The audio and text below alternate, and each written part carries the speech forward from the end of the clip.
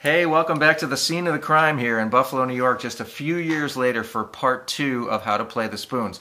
Now, if you haven't seen part one, I highly recommend you start there. We learned how to grip the spoons and keep them in place. We learned uh, a wonderful rhythm that can be kind of the foundation for a lot of your spoon playing. And we also learned a little trick, which was stiffening the fingers and scraping the spoons down across them. If you haven't done part one, there's a link in the description, and I really suggest that you start there. If you're ready for more, I'm going to teach you five more things today that you can do with your spoons. So the first thing is, uh, where we left off. We had our, our fingers stiff here on our, uh, on our opposing hand, and we learned that just by scraping the spoons down across those fingers, we get this magical little sound. Scraping them down and landing on the leg, right? So, where we left off was we were going like this, through three, four, straight, two, three, four. We're going to take that a step or two further uh, for my first of five things I'm going to show you. What we're going to do is we're going to alternate the scrape and the basic rhythm that we learned.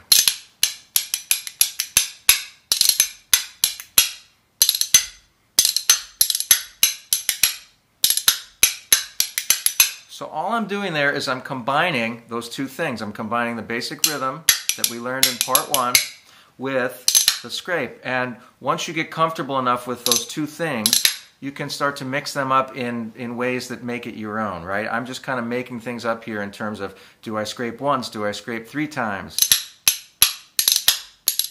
right?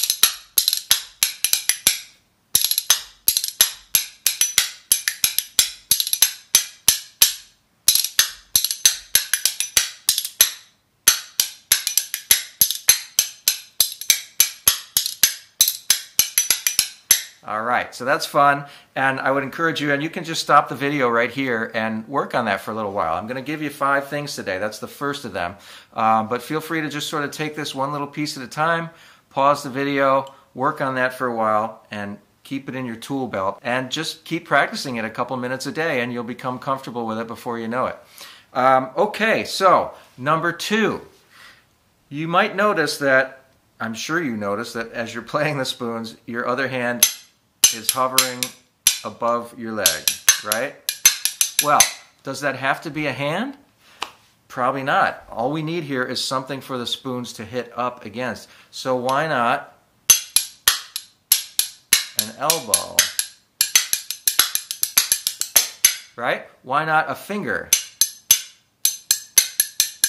Now it sounds the same, but it adds a real visual flair to what you're doing because all of a sudden what you're doing looks a lot fancier than just having your hand here. Right? Now we have an elbow here.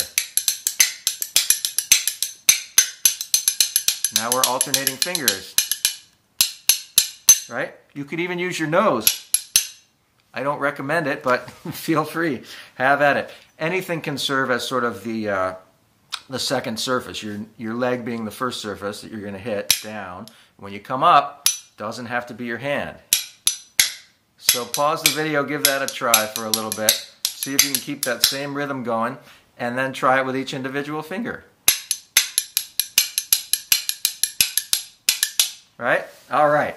Number three, um, you don't need to be hitting the spoons down on your leg. There are other things you can hit the spoons down on, right? You could hit them down on your fingers. Again, not the kind of thing you want to do for too long because it's not the most musical, but it's wonderful to throw in after you've been kind of keeping that rhythm. Right? So we're just working it into the mix, and again, it adds a little visual excitement to what you're doing. So hitting down on your fingers, hitting on your cheek, you can even hit them on your head. I'm not going to do it right now. but if you have some forgiving spoons, that can work too. So hitting the spoons on something other than your leg is kind of technique three that I wanted to show you today. Number four is another way to uh, kind of diversify where you're hitting the spoons down. Instead of keeping them in one place on the leg, how about stretching your leg out? You can't really see this. Okay, there it is if you're sitting down while you're playing the spoons, right, you can, you can walk them all the way out to your foot, basically.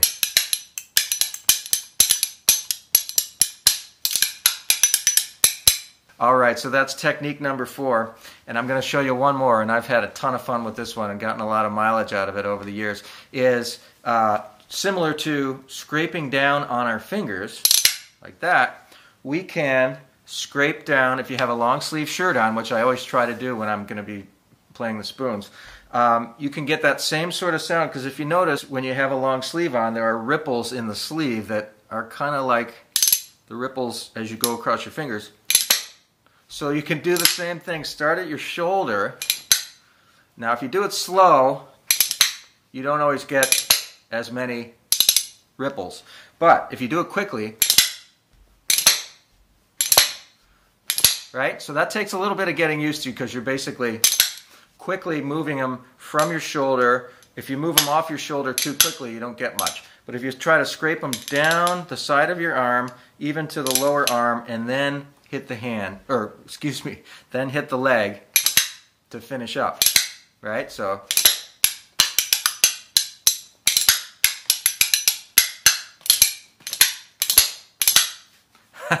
so that's a whole lot of fun. To wrap up here, I'm just going to try to throw in a whole bunch of this stuff together and we'll see what it sounds like.